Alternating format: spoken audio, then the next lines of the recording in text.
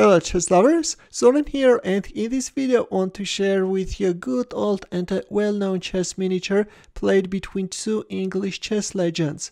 On the white side is Henry Edward Bird and his compatriot Joseph Henry Blackburne, nicknamed the Black Death, is playing with the black pieces. The game was played in 1886 in London. Bird had white pieces and he opened up with f4. Now this opening carries his name and is known as bird opening. e5. In return Blackburne is going for From's gambit. From the first move on he is revealing his aggressive intentions.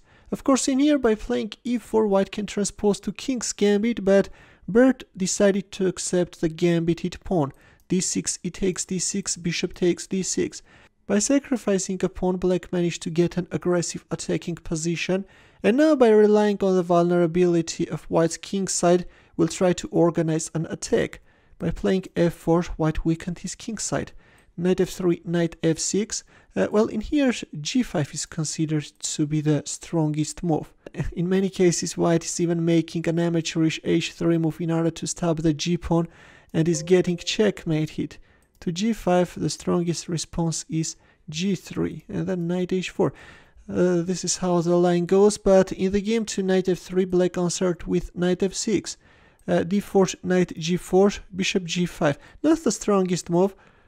Occupying the center with e4 is really good, uh, but instead we see bishop g5, which allowed black to advance on the king side without meeting any obstacles and get a nice attack. After bishop takes f2 this time black captured on f2 thus depriving white of a privilege to castle.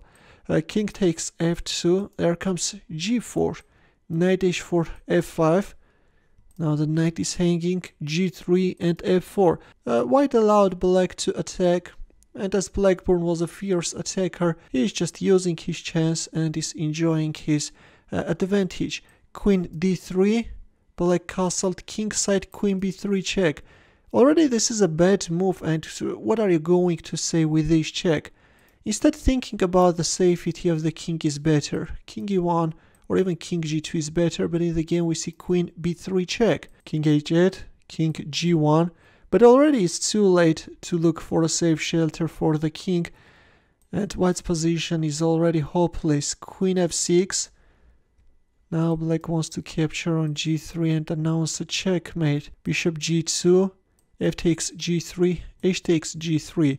White managed to free the h2 square for the king, but there is no way out. In here, Blackburne made a move and forced a resignation. Can you find his next move? Ready? Uh, well, if you remembered earlier, I have already shared with you a game played between David Howell and Rinat Jumabayev. This position is from that game and in here we have the same winning pattern. Can you find the winning move for white? Ready? Uh, in here Howell played rook c6, a powerful blockading move with which he is neutralizing the threat and once you accept the rook sacrifice only then white can play queen h6. In our game we also see a similar idea and the winning move by black is rook f3, after which white resigned. For example, if you accept the rook sacrifice, then already the third rank is blocked, you no longer protect this pawn on g3 and you can get checkmated. Uh, the final rook sacrifice is really very nice and I hope that you enjoyed this chess miniature. In there, the chess puzzle for you, where the task is to find the winning line for white.